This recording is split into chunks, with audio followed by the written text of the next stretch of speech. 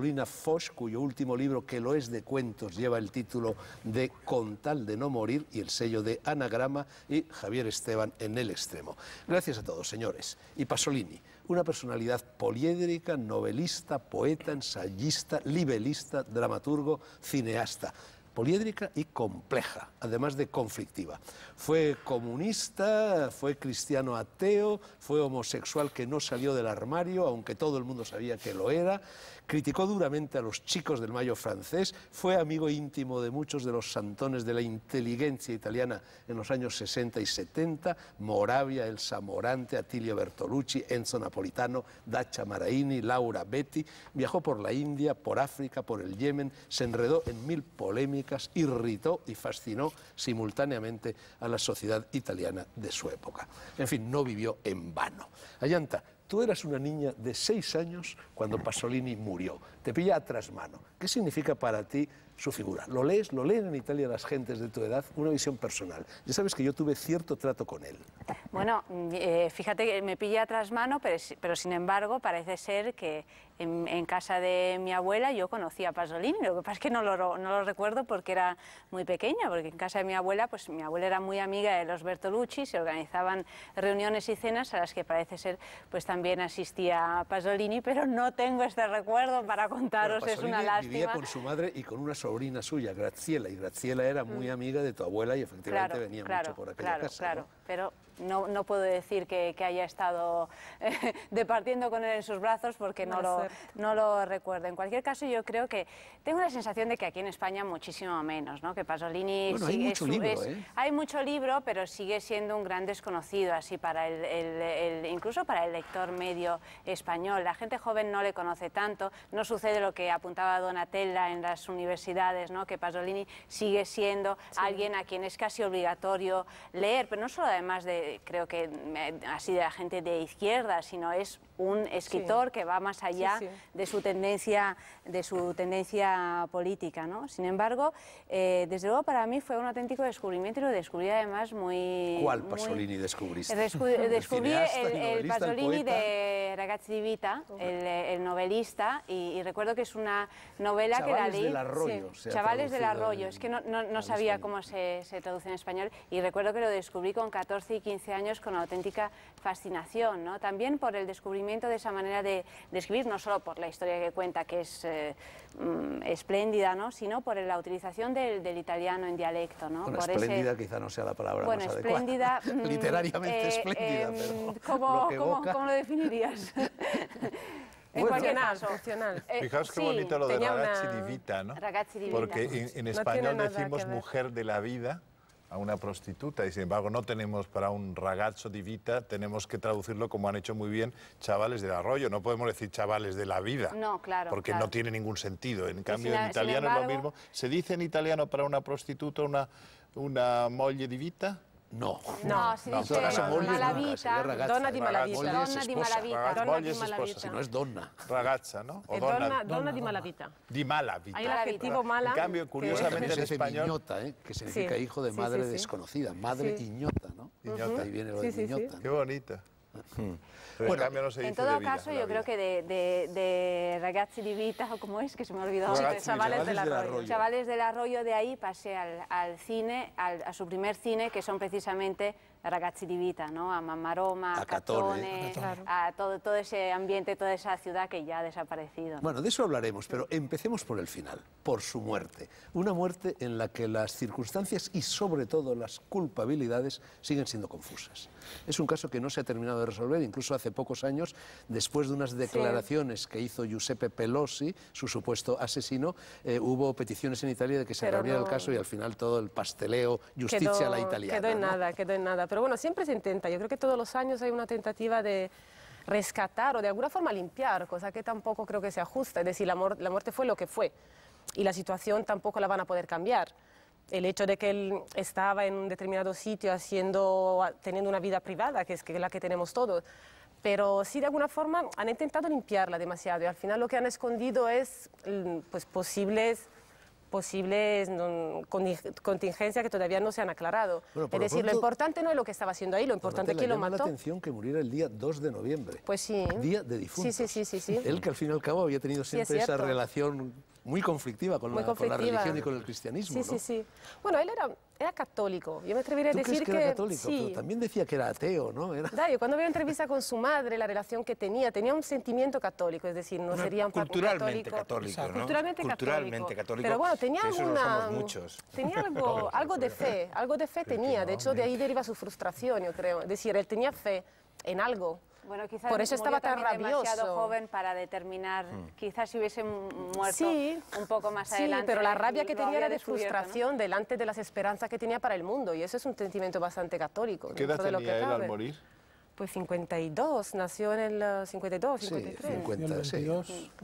Sí, en todo caso, lo que resulta impresionante es de qué manera se lleva, desde que murió, desde que fue murió o le asesinaron o lo que fuera eh, eh, Pasolini, que mal llevaron todo el tema de la investigación. Realmente da Vamos a ver, contemos un poco los hechos para que los espectadores, que quizá no los conocen. Eh, él, en teoría, es asesinado por un ragazzo di vita, por un chaval del arroyo, al cual se había llevado a un descampado cerca de Ostia para mantener con él relaciones sexuales. ¿no? Entonces, este chico lo golpea y pasa con él por, eh, con las ruedas del coche escapar el propio coche de Pasolini. El propio coche de Pasolini. Un alfa. es la versión oficial. Pero luego dicen que aparecieron otras tres personas que venían siguiéndolos, que fueron quienes en realidad lo mataron. Es lo que dice Giuseppe y que Pelosi, no, eh, no, lo declaró esto en el juicio porque había sido amenazada de muerte su familia si lo decía. Sí.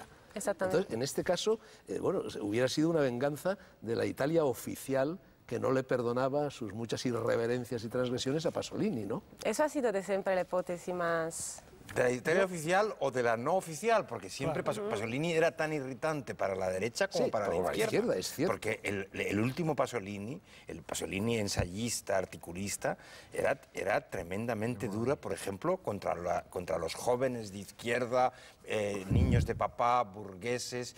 Él siempre estaba a favor del proletario, un proletario probablemente eh, idealizado por el físico. Incluso del lumpen proletario. Del lumpen de toda clase de proletarios, ¿no? Entonces, bueno, eh, era muy molesto para la izquierda, porque yo además, eso recuerdo a algunos amigos míos italianos yo era, he sido siempre muy pasoliniano, que yo hablaba de Pasolini y decían, sí, sí, pero Pasolini es un personaje que ha, ha, tenido una deriva terrible, es un personaje que está haciendo esta cosa este, este, retoque, que ese toque siempre juego a la derecha, le hace el juego a la derecha, le hace bueno, no, no le hace el juego ni a la derecha ni a la izquierda, él hace un juego de, de, de acizador, de, de hombre agudo, ¿no? intempestivo, intempestivo siempre, porque siempre fue muy intempestivo, incluso cuando era no católico, pero en fin, hacía cosas cristianas, ¿no? En un momento en que todos éramos ferozmente ateos, ¿no? O sea, bueno, incluso pues cuando, porque él entró después de la guerra en el Partido Comunista en Ferrari y duró dos, años. Claro, claro, claro. Bueno, un personaje incómodo en todo caso, pero en todo caso, ¿no? o sea, el, coche que, encontraron lo dejaron aparcado en un sitio tres días bajo la lluvia sin eh, coger huellas eh, ni nada. El sitio donde lo encontraron muerto no lo cerraron al paso para, para que no hubiera una investigación. Empezaron a investigar tres o cuatro días después, cuando ya todas las, las pistas pues habrían podido ser eh, manipuladas o, se habrían podido perder. Eh, interrogaron a las personas que estaban en los alrededores también varios días después. O sea, quiero decir que todo el proceso de investigación de la muerte de Pasolini apunta a que no había ningún interés en saber cómo y por qué lo habían matado. Por otro lado, también se dice que le, dieron por varios, en varios puntos y que era imposible que una persona sola, eh, y además un alfeñique como era el Pelosi este, en comparación con Pasolini, que era un señor eh, que estaba fuerte y, que además le gustaba hacer gimnasia y mantenerse guapo y, y en forma y demás, no hubiese podido hacer frente él él era menudito, ¿eh? Era, era, no era muy alto. No, pero era, pero era ancho, ¿eh? Era un hombre de... Era musculado, musculado sí, pero no era alto. Alto no, pero fuerte. Es una pena que el libro no trate de todo lo que se ha movido este año con las declaraciones del senador de Ultri. Es decir, parece que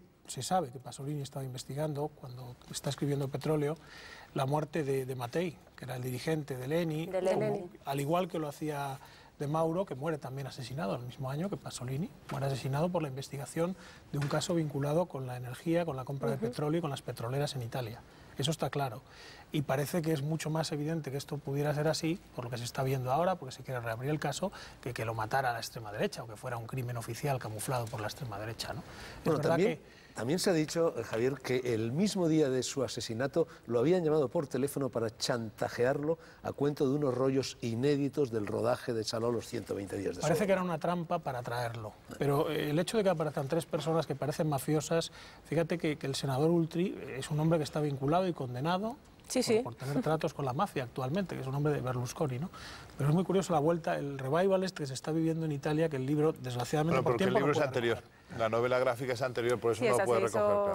Sí. Bueno, es que Pero es la hipótesis más posible. 2005, que es cuando... Los 30 años de la muerte. Sí, o sea, la, la, causa Vicente, eh, a propósito de esta incomodidad que generaba también en la izquierda, aquel cuando el mayo francés, y cuando está ya como secuela del Mayo francés estalla en todo el mundo el movimiento estudiantil, el movimiento estudentesco. Él publica un artículo que exasperó a la izquierda en Italia, en el cual venía a decir vi odio cari studenti, ¿no?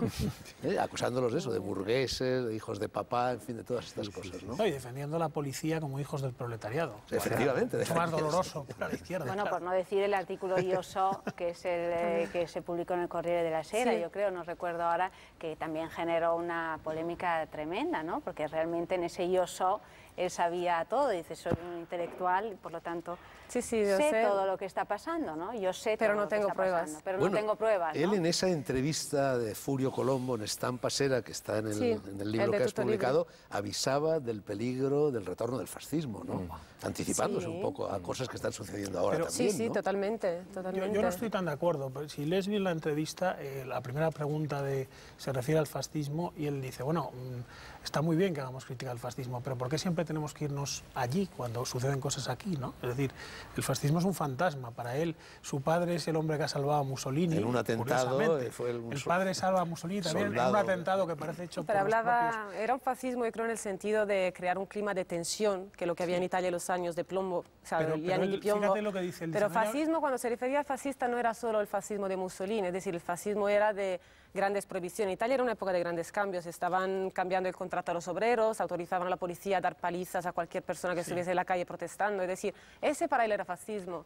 Pero él, pero él eh, señala, dice, ¿por qué tenemos que llamar las cosas como lo que no son? Es decir, centrémonos en los problemas reales, que actualmente no es eh, la cortina Sí, sí, es la enfermedad política, ¿no? Es cortina de humo, pero bueno, él veía más allá, eso era su problema. Desde luego era un hombre molesto y, claro, tenía esa, esa, visión poética, esa visión filosófica eh, sobre Mucha la gente deseaba su que rompía. Sí. Eso es muy probable. Eso es y la última película, desde luego, eh, esa película le debió traer enemigos. Sí, claro, bueno, es, que, fue la... es que le acabó. ahí, ahí la el, último, el último Pasolini es un Pasolini de una, de una radicalidad nihilista, de un pesimismo en el pensamiento que es aterrador. La película, la película más allá de las Hablas de escenas Saló, los de 120 Saló, de Saló, la adaptación de- del Marqués de Sade, una Sade. adaptación por un lado muy fiel, pero va mucho más allá de la digamos esta orgía sexual eh, Que es lo que violenta que es lo que hace Sade. Él le da una lectura política, hay él hace una- lectura, ¿no? claro, Hay- la, la circunscribe a la República de Saló, a la República fascista italiana de Saló, hace unas connotaciones que a mucha gente le molestaron entre las vanguardias que existió en su Y momento, pero él sadismo, las exacerba, sadismo, entre la vanguardia artística, todo- todos los dignatarios de la República tienen todos cuadros de Carrà y de Severini y de todos los futuristas detrás, ¿no? Es decir, hay toda una lectura política desolada, y, y no solamente política, una lectura política desolada de la condición humana, ¿no? Realmente los humanos, todos los seres de esa película aparecen con una No se mirada salva tan nadie, no se despiadada. salva, no se salva a nadie. Y yo creo Pero que él él, era- él mismo también, o sea, es, es- Él, es- Vicente, él era un hombre, yo lo traté un poco, no mucho, le entrevisté en cierta ocasión, era un hombre duro, era un hombre antipático, ¿eh? era un hombre agrio, era un hombre un poco borde, ¿no?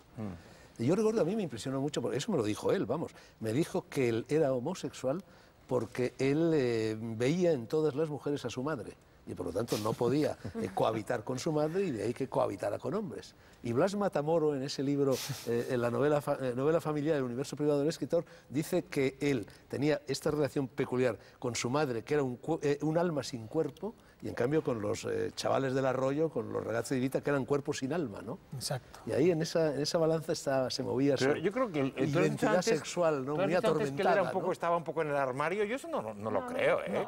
Él nunca reconoció. Bueno, pero él, por ejemplo, Pero yo recuerdo... Pero reconoció a ti sí, en una entrevista, Bueno, Fernando. homosexual. Y, y- y yo, yo recuerdo cuando, eh, cuando yo, Sí. yo le vi una vez, eh, cuando yo era muy jovencito y era crítico de cine, y fui a Venecia al festival y él presentó una película.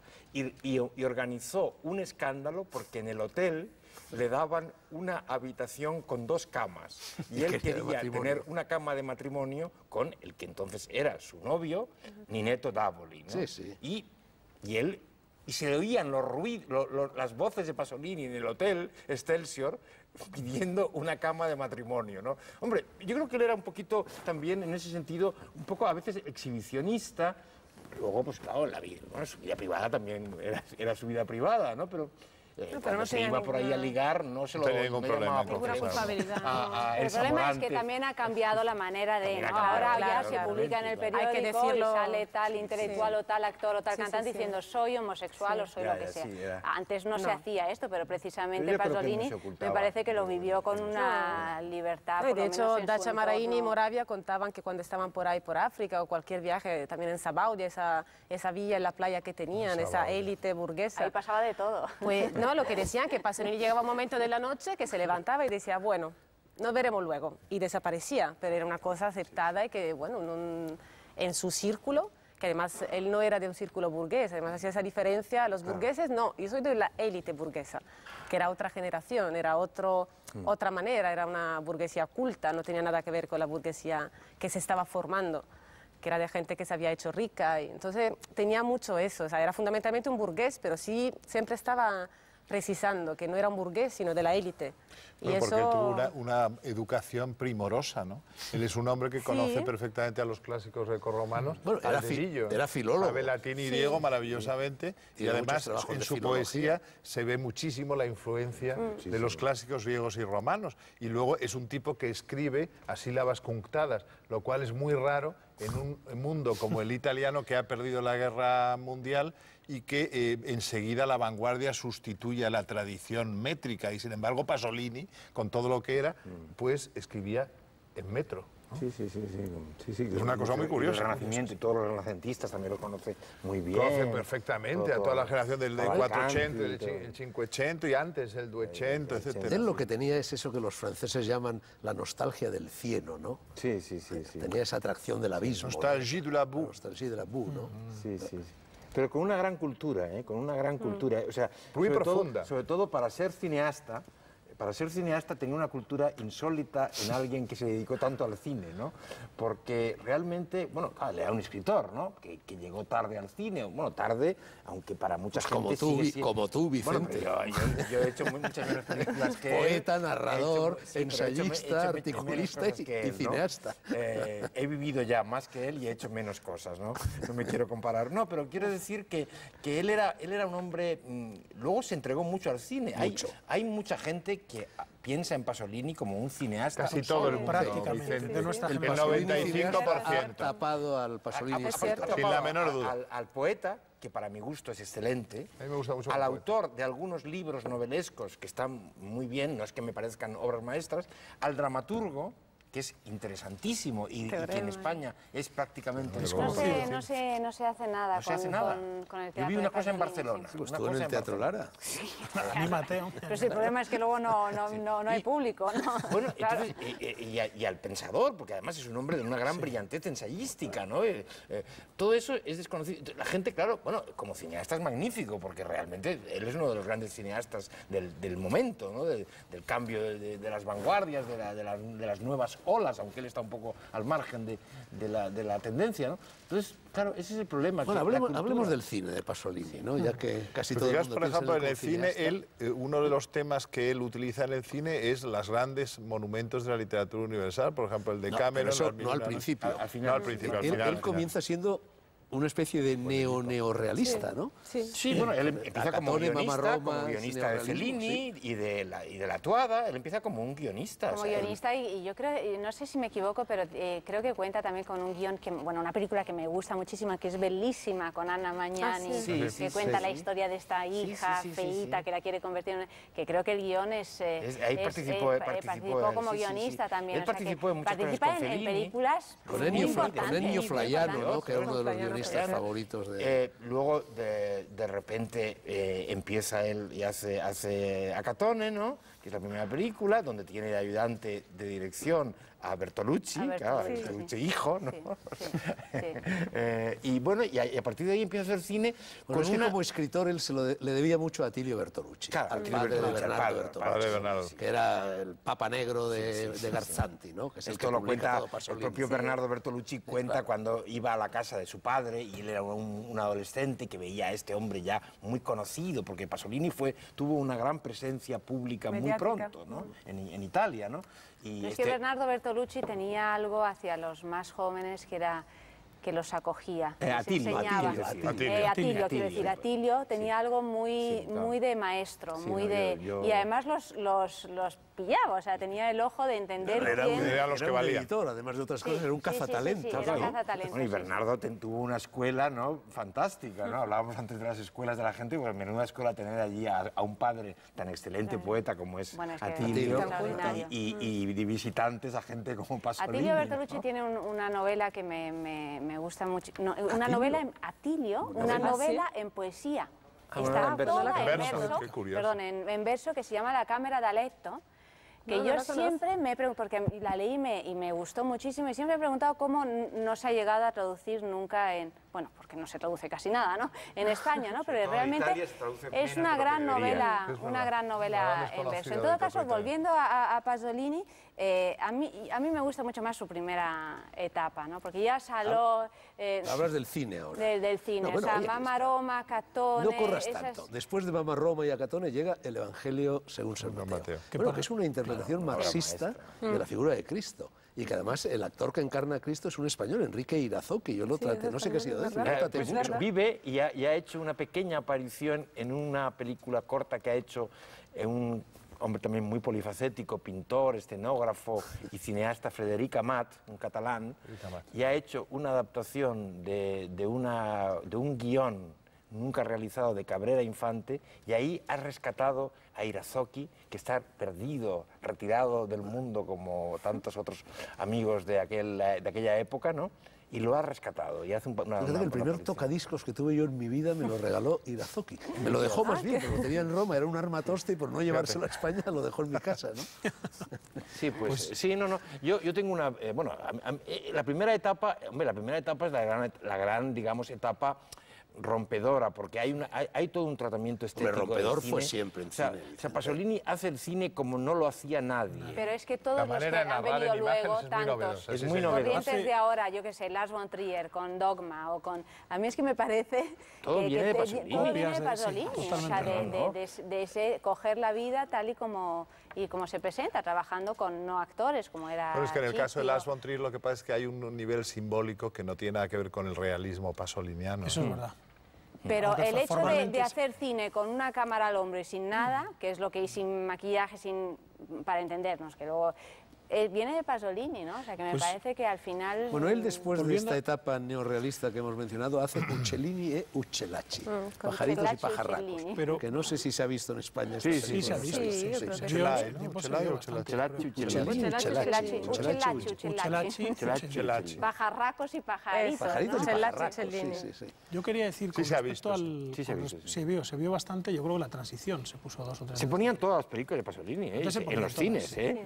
Eh, yo he visto, yo vi Edipo Rey en el cine Pompeya desaparecido. Mama Roma me parece fue de. Rosales, que era de O sea, arte y se ensayo. ponían en una época, bueno, ahora no está mal el cine, en- mientras dure el cine, que pronto acabará, pero mientras dura, eh, a las películas aún se ven, ¿no? O sea, eh, y, y Madrid, Barcelona, no por desgracia otras ciudades de España, donde no llega el mejor cine, pero en las ciudades grandes aún llega el buen cine, ¿no? Y se ven incluso películas turcas que entonces no se veían. Pues- pero, Ni se hacían, Ni se hacían. probablemente. pero, Esta- pero Pasolini se veía. La- se lo que decías tú del Evangelio, yo Sí, creo que Nuestra el- generación el- ha visto a Pasolini Pasolini, normalmente. Todas, ¿eh? la interpretación que se hace normalmente del Evangelio, ¿no? que dice, no, es una película, es una visión marxista. De... Formalmente es marxista, pero en realidad lo, lo que es genial de la película, no sé si os acordáis, es que Cristo está hablando, clamando en el desierto. Nadie se lo cree. O no creérselo, no se lo cree ni, ni su madre, ni su- no se lo cree nadie. Ni los apóstoles, ni... Entonces el contraste es un señor que, mm, de un modo un poco narcisista, ¿no? Lo mantenemos que Jesucristo un poco narcisista, se dedica a hablar para escucharse a sí mismo. Y está todo el rato hablando a nadie. Y no le es escucha a nadie. fondo- Eso Yo no entiendo cómo la iglesia luego dice es la mejor película que se ha hecho sobre Jesucristo. ¿no? Pero es el famoso, Claro, no me pero en el fondo es el discurso pasoliniano. Él Sí. tampoco se creía como interlocutor de nadie. Él sabía que sus palabras iban a caer en el vacío también de Bueno, algún modo. Por eso es un No, ha creado es que es una visión un poco monólogo. nihilista Sí, e sí, intempestiva de Cristo, Y ¿no? Lo cual efectivamente tiene un lo punto hacía social. muy atractivo, yo creo. Es ¿no? secundario eso, ¿eh? Y luego la de Uchel, la famosa, la de Pajarracos, Pajaritos, yo creo que es su obra maestra y es donde Pasolini saca su visión del mundo, sobre todo de la sociedad, y ahí sí hay marxismo por todas Bueno, hay partes. quienes piensan que su obra maestra es Teorema. Pero es más la más famosa, quizá eh, junto con la trilogía, trilogía de la vida. clásicos. ¿no? de la vida, ¿no? Pero yo tengo muchas, mucha debilidad por Edipo Rey, que es una película muy atrevida en dos tiempos, claro, ¿no? O, o también, aunque tenía un poco el peso muerto de, de ella, que yo creo que no estaba muy bien como actriz, la Medea que hizo María con la Medea. Gala. Con la Calas. Eh, No estaba nada bien como actriz, Pues pero pues aún así tenía la una fuerza la película. La película ¿no? tenía Sí. gran fuerza, Medea, ¿no? sí. Ella, La no, Medea, la ella Medea. estaba, No es no, actriz, no era actriz de cine, de cine, claro, porque dicen los que la vieron, yo nunca la vi en el escenario, que ella era una gran actriz en, en la ópera, ¿no? Bueno, pero es que la ópera, Sí, y más ella la la interpretación. de Tú sabes perfectamente que no es lo mismo ser actor de teatro que de cine, claro, ¿no? son do- o sea, tú dos- puedes, yo creo que puedes ser excelente actor de cine y de teatro, como hay tantísimos, pero no es lo mismo actuar en cine que en teatro. o Y sea. más en ópera, que se, se, Ya, se ya ha quedado todavía más no atrás. Bueno, ese era su rasgo de diferenciación respecto a Renata Tebalde, que era la, en fin, la, la otra gran vedette de la, la otra gran diva de la ópera. Que no muy rival, y También muy le En cambio, la Calas, además más de códigos Porque además es tan personal, en el fondo se está retratando tanto a él ¿eh? en el tema de Edipo. Bueno, él antes de Medea eh, fil- eh, rueda Pocilga, donde ya asoma todo este lado abyecto y degradado que luego llegará a su culmen con Saló, ¿no? Sí. Esa es una película que, que de las más difíciles de él, ¿no? Posible, Yo sí. recuerdo que la primera vez me dejó muy, desco- muy desconcertado, ¿no? Luego la he vuelto a ver, porque yo vuelvo siempre un poco a Pasolini, ¿no? Eh, es una, una- una inspiración y un punto de referencia constante. Y, y la película es muy atrevida, pero tiene... Él, él siempre tiene cosas muy interesantes, ¿no? O sea, muy- eh, o sea, conceptos, y luego tiene una manera de narrar que es además propia de alguien que- a quien no le interesa la gramática del cine, que hace las películas como le salen, ¿no? Como le salen, pero inventando. El, cine de Pasolini inventa. Bueno, ya que dices inventar, la verdad es que Pasolini continuamente, y esto vale lo mismo para su cine que para su obra literaria, se reinventa a sí mismo. Sí, Tiene eso que los italianos llamáis, esa tentativa de rifarsi una virginità, ¿no? Recuperar la virginidad. Eso es constante en la obra de Pasolini. Destruye todo lo anterior y genera un mundo nuevo. Es un ¿no? mutante, sí. Él va mutando. eh, Yo creo que hay tres o cuatro cines, ¿no? Políticamente también, ¿no? Sí, Bueno, también. políticamente yo no, creo, creo que él se va centrando en, lo- en su marxismo, en su visión del mundo poético marxista, pero no me parece que cambie mucho, ¿eh? políticamente. Pasa de apoyar al Partido Comunista y a la izquierda sí. abiertamente a ser muy crítico, como ha dicho Pero- Vicente pero antes. porque ¿no? él, lo que hace es una, una, un órdago a la visión de la realidad de la burguesía, que es la dominante, y dentro de esa visión de la realidad de la burguesía, a la que hace la burguesía de izquierdas, muy vinculada al Partido Comunista, y hace esa crítica y dice, bueno, prefiero los hijos de...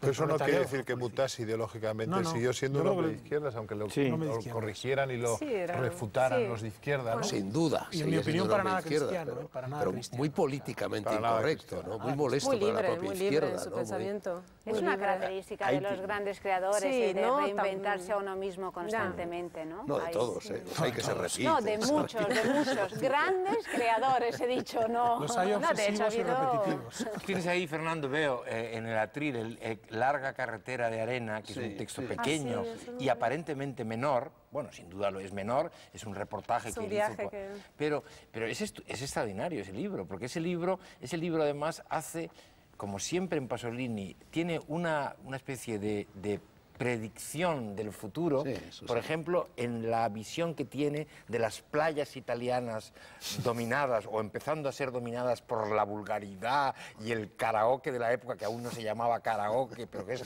la música a todo meter, y las, unas niñas bailando en la plaza del pueblo. Hay toda una visión de una vulgaridad, digámoslo así, televisiva, que podemos hoy ver en muchos aspectos de la realidad, que ya la, ya la ve con una ni siquiera es con crítica, con un ojo que las pone en evidencia, ¿no? Y tú ves que está hablando de lo que va a venir, Bueno. Yo so. Bueno, él era, están aquí los Eso es lo que escritis más- corsarios, bueno, que Sí, han sido sí. traducidos al español como palabra de corsario. Él era, un- él era eh, viajaba con patente de corso, no era un corsario, ¿no? Sí, sí, Iba sí, solo sí, por sí. la vida, ¿no? No se casaba con nadie, ¿no? Y tú, Fernando, que eres tan aficionado a corsario aquellas también. tierras, aparte de corsario, pero aficionado y conocedor de aquellas tierras, de aquellas tierras, supongo que conocerás lo que para mí es, yo soy un poquito aficionado, no tanto como tú, a, a la India, país al que voy claro. regularmente. El libro de- la India. Él escribió- es, una maravilla. El Ese olor- libro el olor- el es para de la mí India. lo mejor que se ha escrito en breve, que decir, no, no en plan de estudio histórico o mi- mitográfico, pero como apunte, que es lo que es, y él así lo presenta, de lo que es la India, de lo que es la religión en la India, por ejemplo.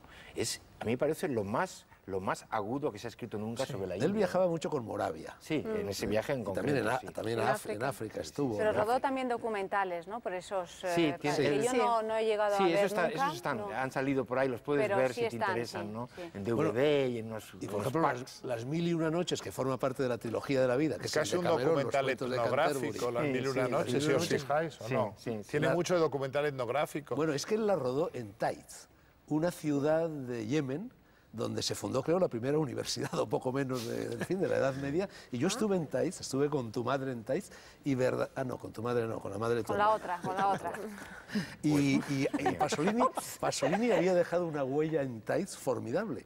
Todo el mundo, todos los ragazzi di vita de a saber lo que habría hecho por allí. Sí, sí. De- de- Bueno, y de- en Marruecos. eh, hablaban yo de el año pasado vi una película que no ha llegado, que no ha llegado a Europa, digamos, una película no era buena, que se llama eh, eh, eh, Esperando a Pasolini, una película de un marroquí, un cineasta marroquí, que debe tener ahora 40 o 50 años, que fue, no sé si ragazzo di vita, pero en fin, un ragazzo del equipo de filmación de una de las cosas que hizo Pasolini en, Marruecos, en el sur de Marruecos, y cuenta la impresión y el recuerdo que aún queda en esas ciudades del sur de Marruecos, en el Atlas, eh, de Pasolini, ¿no? Y es muy curioso, él no pasaba nunca No, no, dejaba desapercibido. No, no, dejaba huella en todo, claro, claro. También es- es, eh, sería interesante hablar de, de- de cómo han envejecido las películas de, de Pasolini. Es decir, si llegan Yo ahora es que no las he vuelto a ver, la no lo sé. misma Vistas- fuerza... tú dices que las sigues ¿o viendo. No, no, yo, hombre, yo no las he no vuelto a ver todas, y Tengo la sensación de que tendrá,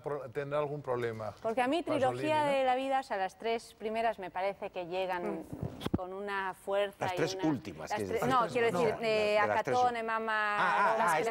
Las, ah, primeras, tres no. primeras, perdón, Sí. llegan con una fuerza Sí, de esas están clásico ahí, que, están que ahí. esas Sí. están ahí y son un poco inamovibles ¿no? en el lugar que han ocupado. Sin embargo, ya las, las últimas me parece que tienen muchas cosas que, que ya se, se hacen más pesadas, que son más difíciles de ver, en mi opinión. ¿eh? Inclu- incluidas No estas son de fáciles. la, la- la- la trilogía de la no, no, literaria, porque esas, no, esas no, no, no, es- que estas a mí no, me cuando- refería a las tres primeras. confieso que cuando las vi me parecieron que eran demasiado comerciales, porque uno tenía- Imagínate, ¿no? claro, imagínate.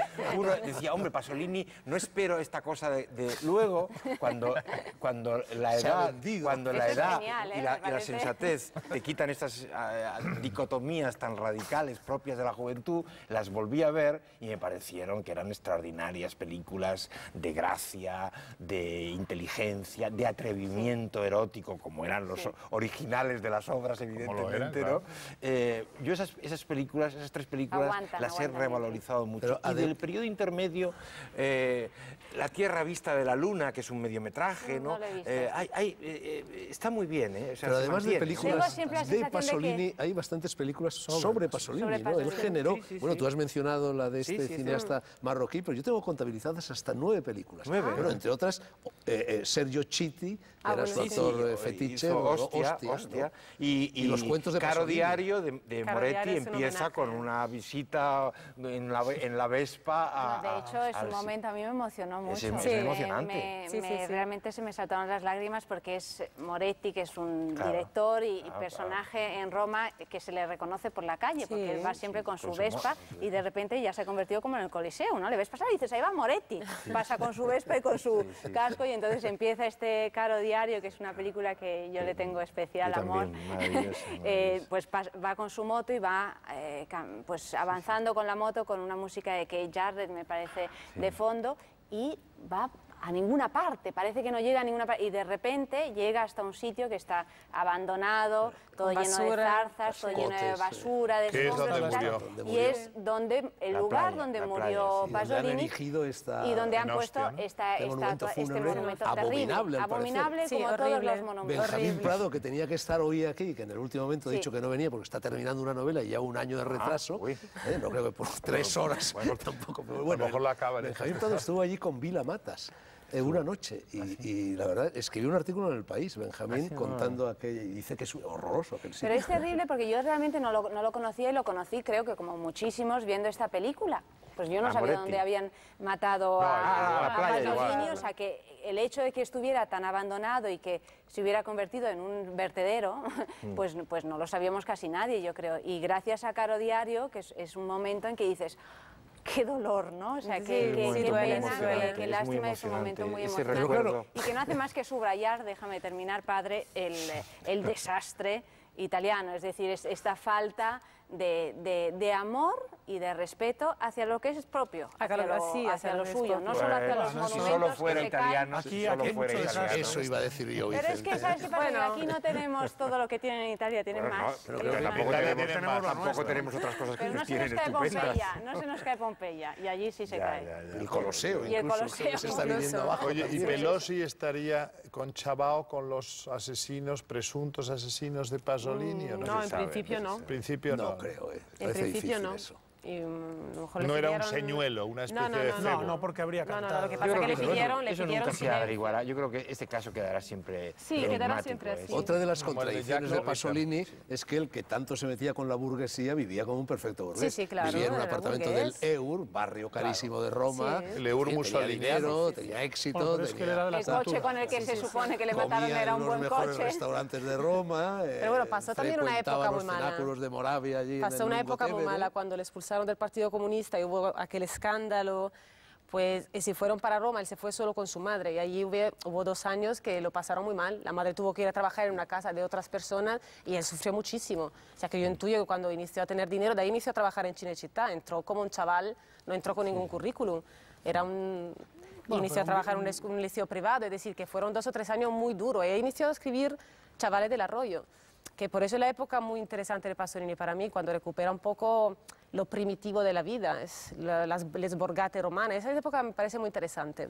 Es curioso en los porque años ya posteriores hay una rabia, unos cuerpos desnudos, una violencia En de imágenes implica- que deja el estómago a la directamente, a la cultura la revuelto. implica directamente las matanzas. Los cuatro personajes que recordar hay uno que es, Sí, sí, sí. bueno, son gente Sí, sí. cultivadísima, vanguardistas, Sí, sí, sádicos claro, y todo sí, eso. sí, es una lectura muy... También, de hecho, en las la cultura 120 días de. Sodoma del Divino Marqués, también los protagonistas Sí. son gente significada, Sí, claro, son- altos prelados, aristócratas Bueno, ahí se supone que están los, cuatro, están los cuatro poderes, ¿no? Está el político, el judicial y el, el El- curo el religioso. Y, o sea, están los cuatro pilares de la historia de Italia y, bueno, de la democracia mundial, más o menos. Pero en Italia es el legislativo, el ejecutivo, el judicial y el clerical. El clerical siempre está, sí, sí, siempre está. Y además tiene una barriga no está bastante separado de ninguno de los otros tres. Está y tiene barriga, sí, sí, sí, eso, eso no falta, no falta. Bueno, en Pasolini había como una tendencia a la autodestrucción, ¿no? a, a la inmolación. No es una casualidad, creo yo, que se fijara en la figura de Cristo para hacer el Evangelio según Sí. San Mateo, ¿no? En cierto modo, eh, bueno, pues eh, su muerte eh, forma parte también de su obra, ¿no? Y de su vida. Hablaba mucho de la muerte Pasolini, siempre habló mucho de la muerte. Es una cosa extraña, pero hay muchas entrevistas donde habla de la muerte y del ese pesimismo, es decir, bueno, si se acerca a la vejez, de alguna forma hay menos esperanza y si uno no tiene esperanza, sufre menos. O sea, veía la muerte como la solución de todo y lo veía un poco como el cine. Es decir, él decía, la muerte realmente lo que hace es fijar y dar un sentido a todo. Es, una, es un cierre de una película. Y él no dijo que la esperase, pero creo que era curioso de saber cómo intuye, ¿no? acabaría Que eso. Parece que la intuye. Bueno, y había una un muerte ingrediente violenta. sadomasoquista. Sí. Sí, hecho, su sí, interés sí, por sí, Sad, sí, como sí, se sí. refleja en la película Sí. de, de Saló. Sí, porque hay y quizá más masoquista que sádico, tal vez. Bueno, siempre un poco Va lo uno por lo otro. yang, Pero ¿no? quiero decir que, por ejemplo, el caso de Edipo, no olvidemos que cuando Edipo se da cuenta del pecado o la transgresión, mejor dicho, que ha cometido, se arranca violentamente los Bueno, ojos. parece que a él sí le gustaba ser ligeramente maltratado, entre comillas, ¿no? Yo pienso que iba más por el lado de, del Bueno, inefable ligeramente Marqués. maltratado no está mal. ¿eh? De de mal- lo malo es ser muy maltratado. No llegues al extremo de que te pasen las ruedas de un coche por encima, ¿no? Eso ya. Son palabras mayores. Pero os suerte. acordáis del inefable Antonio de Hoyos y Vinén, que siempre llegaba a casa, el del monóculo, ¿os acordáis? Que murió en la cárcel franquista en el año Marqués, ¿no? 40, Marqués Marqués de Vinén. también. Pues este señor llegaba siempre a casa con un moratón en, en- en- en alguna parte de su cuerpo, porque le daban unas palizas enormes. En la, en, eh, se iba el tío a, a- a las primeras eh, luces del alba, se iba a los mercados. Y entonces los grandes transportistas y tal les decía cosas que Cargado- palizas. cargadores de- cargadores de camiones y le daban una, una serie de tortas y tal. y él, iba encantado a casa. De Marqués del Riscal vivía. Bueno, pero yo creo que el sadomasoquismo en la literatura da para otro programa. Para otro ¿eh? programa. sí. Lo haremos. Un monográfico. Casi para otros programas que queden, ¿no? Carosello llamaban antes en Italia, supongo que ya no lo hacen a los anuncios de la tele. No interrumpían, como ahora en todas partes lo hacen, la programación. Estaban agrupados en un bloque ad hoc y además tenía mucha audiencia. Hay gente para todo. Carosello.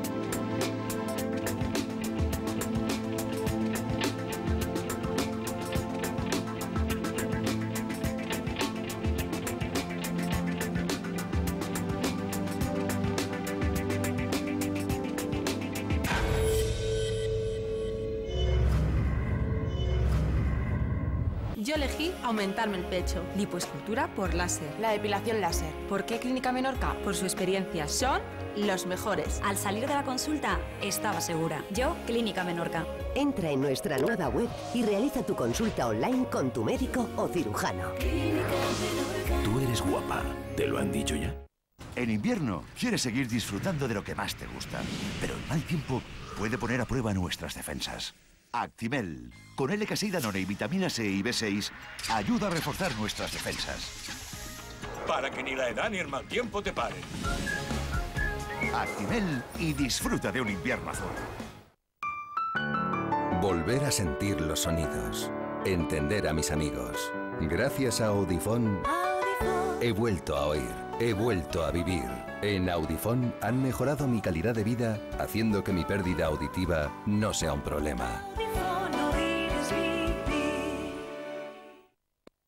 A lo largo de la historia, las manifestaciones de opinión se han considerado una técnica de comunicación oral, donde se expone un tema y una problemática.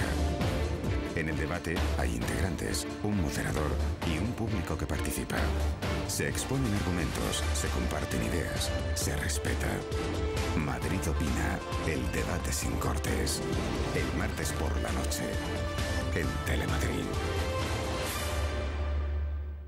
Sentirse hinchada es normal. Con la edad el cuerpo cambia. Sentirse así no es normal. Te propongo un desafío. Toma Activia cada día. Y con esta cámara nos cuentas cómo te va. Activia con Bifidus Actirregularis ayuda a mejorar el bienestar digestivo reduciendo la sensación de hinchazón. Haz como Concha, abre la puerta al desafío. Si no quedas satisfecha te devuelven el dinero. En pleno Madrid, toda la información sobre el Parlamento Autonómico de nuestra comunidad. La actividad política, económica y social a debate. En pleno Madrid, el sábado a las 11 de la mañana aquí, en Telemadrid. Ahorre dinero y energía. Deje de pagar por su ascensor más de lo que debe. Ahora con el plan Renove de Ascensores de la Comunidad de Madrid podrá recibir hasta 3.300 euros de ayuda. Así su ascensor se moverá elevando el ahorro de energía y bajando el recibo de la luz. Plan Renove de Ascensores. Comunidad de Madrid. La suma de todos. ¿Qué? ¿Muchos propósitos para este año? Sirénate, uno detrás de otro. Fíjate, nosotros nos hemos propuesto bajar unos kilitos, ¿eh, Tony? Y también los precios. Hasta un 25% de descuento en una gran selección de productos básicos. ¡Sirénate! Ahora en La Sirena, llenar la cesta no cuesta. ¡Tiendas La Sirena!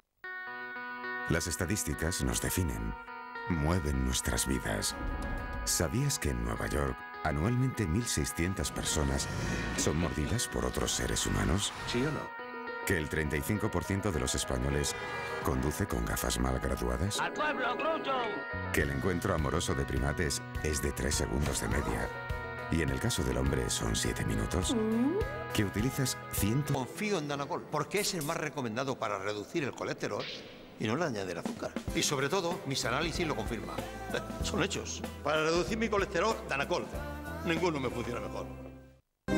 Onda Madrid. Hablamos de Madrid. Hablamos para Madrid. ¿Es griego de Danone el mejor? La familia Poulos, que hace el yogur más reconocido de Grecia, lo puso a prueba. Un reto muy difícil. ¡Posine di Natur!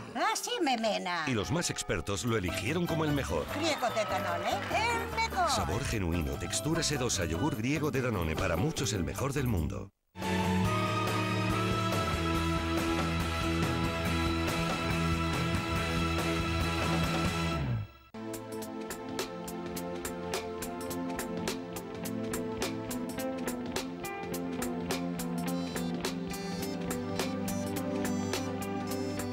Tramo final de Las Noches Blancas.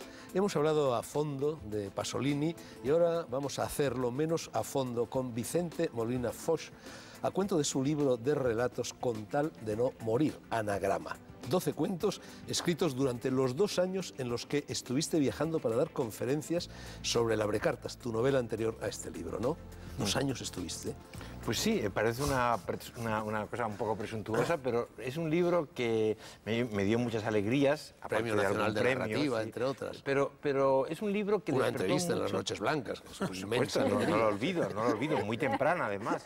No, es, eh, yo creo que la- me- me antes de ganar el Premio Nacional estuve aquí en este programa, ¿no? No, es un libro que despertaba mucho la curiosidad y por tanto la llamada de gente y mi respuesta para hablar de ello con gente que la había leído eh, ya, porque generalmente fueron bolos, como se llama en el lenguaje habitual, bolos con público que había leído el libro, universidades, clubes de lectura, bibliotecas públicas, etcétera, y donde de alguna forma se hablaba de la cocina que hay detrás de ese libro, ¿no?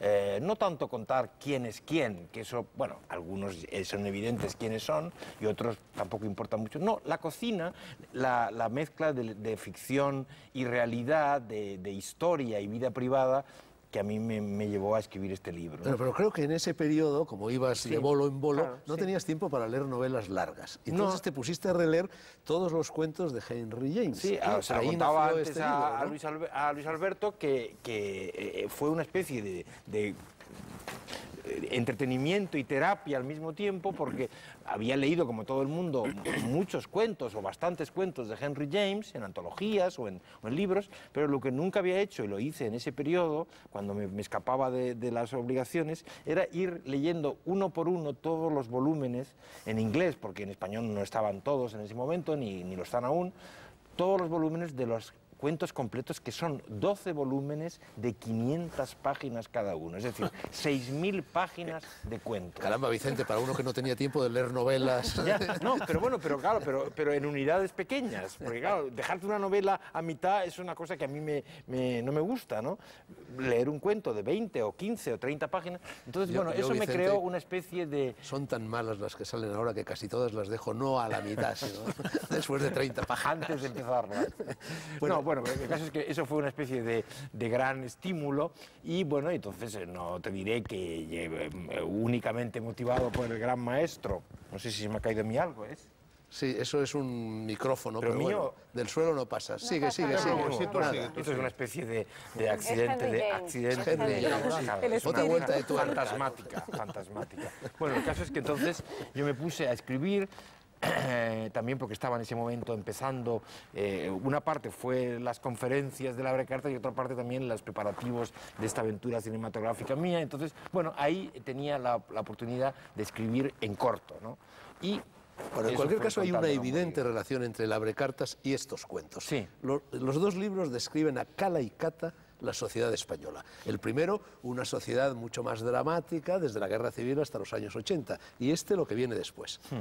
Entonces ya son vidas más bien mugrientas, Sí, no tan bueno, épicas. Sí, no, tan, épicas, trágicas, ¿no? Porque es muy difícil ser, e- ser épico en, en tiempos de decadencia, ¿no? Pero, pero bueno, es, es, la, es la, eh, la vida cotidiana y alguna- en algún caso también la vida fantasmática, porque hay también algún cuento que, que pretende ser también fantasmal, de, de la realidad. No, Son Henry cuentos- James, sí, ¿no? como. Henry James, que sacaba, que sacaba fantasmas de- del costumbrismo, por así decirlo, y de la sociedad Vamos a inglesa. recomendar un libro, perdóname, de- del hermano de Vicente, Ah, de. Juan Antonio, que acaba de sacar un volumen muy grueso en la colección gótica de Valdemar con todos los cuentos de No, fantasmas. no todos, casi Henry todos, James. porque hay tantos Casi que no, no podría. Éramos Pero una es una- yo creo que es la más amplia selección que se ha hecho de los cuentos de fantasmas de, de James, que aparte de los más conocidos, que todo el mundo ha leído o conoce, como Vuelta de Tuerca o cualquier otro, tiene joyas tremendas. Y ¿no? desconocidas. Joyas que yo iba descubriendo en esos 12 volúmenes que iba leyendo poco a Bueno, en poco. Con tal de no morir aparecen bueno, elementos nuevos de la sociedad española a partir de los años 80, como es la inmigración. Inmigrantes magrebíes e iberoamericanos, ¿no? Por ejemplo. Sí, bueno, claro, porque es- eso, eso es el. Yo creo que la inmigración como es el tema de nuestro tiempo, como que decía el otro, ¿no? Decía Ortega. ya, ya.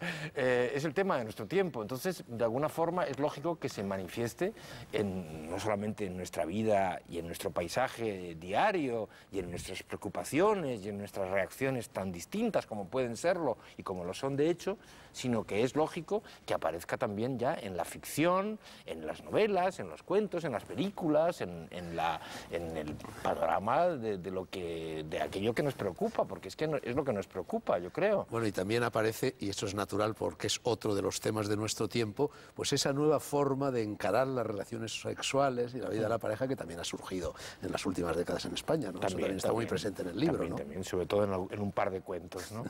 es, bueno, es, era, para mí era interesante ese libro porque eh, fue el primer, es mi primer libro de cuentos eh, como tal, es decir, un libro no antologizado, digamos, no una recopilación, sino que es un libro que yo empecé a escribir diciendo, esto va a ser un libro de cuentos con 12 cuentos que van a ser de una determinada manera